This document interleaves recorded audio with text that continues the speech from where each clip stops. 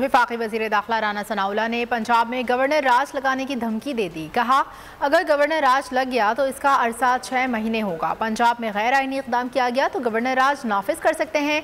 Media से गुफ्तु में कहा कि आइन में लिखा है कि वजी अला एतमाद का वोट ना लें तो वो वज़ीर अला नहीं रहेंगे।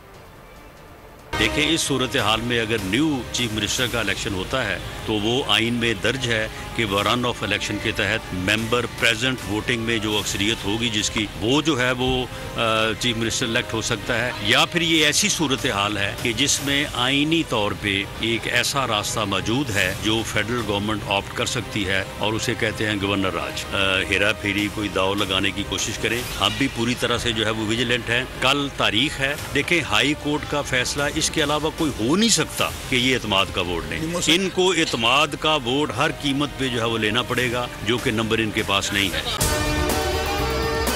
और अगर आपको हमारी ये वीडियो पसंद आई है तो लाइक पर क्लिक कीजिए। 2022 बहुत सारे तोहफे भी देखे गया पाकिस्तान की आवाम को।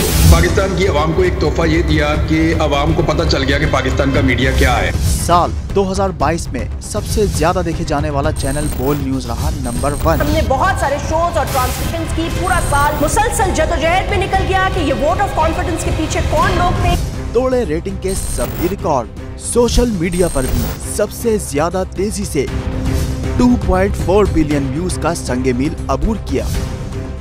एंकर्स को भी आवाम में सबसे ज़्यादा मकबूलियत मिली और सोशल मीडिया पर भी बोल रहा सब पर भारी। सब्सक्राइब करें और बेल दबाएँ ताकि कोई खबर रह न जाए।